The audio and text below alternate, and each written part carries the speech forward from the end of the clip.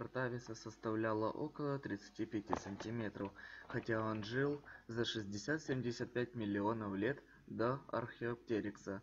Строение его скелета ближе к современным птицам. Из-за наличия зубов на клюве в нем предполагают хищника.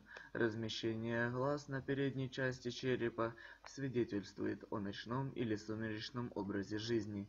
По мнению чаттерджери протавис был адаптирован к полёту на его костях присутствуют особые отметины точки прикрепления перьев. Однако по мнению других палеонтологов небольшое количество окаменелостей не позволяет определить степень способности протависа к полёту более того детальный их анализ не даёт никаких свидетельств наличия у него перьев.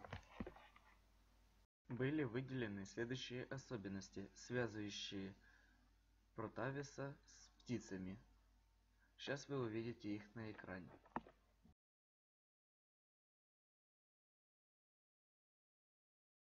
Ставьте лайки и подписывайтесь на канал